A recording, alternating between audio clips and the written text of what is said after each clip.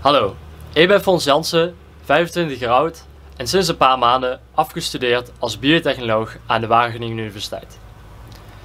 Na zeven jaar in Wageningen gewoond te hebben, woon ik momenteel in Veulen. Een klein dorpje in het noorden van Limburg waar ik ook opgegroeid ben. Ik heb biotechnologie gestudeerd omdat het zowel boeren kan helpen met nieuwe natuurvriendelijke oplossingen, als ook dat het radicaal nieuwe methodes mogelijk maakt voor het produceren van voedsel. Ik vind het namelijk heel belangrijk dat we zuinig omgaan met onze grondstoffen en dat deze ook de waarde behouden in een circulaire economie. Echter, met technologie alleen gaan we deze uitdagingen niet halen voor een veilige, zorgzame en duurzame samenleving. Daarom ga ik met mijn studentcollega's van de andere technische universiteiten op transitietour de afgelopen maanden en zijn we met heel veel stakeholders in gesprek gegaan hoe, welke rol technologie speelt in onze maatschappij.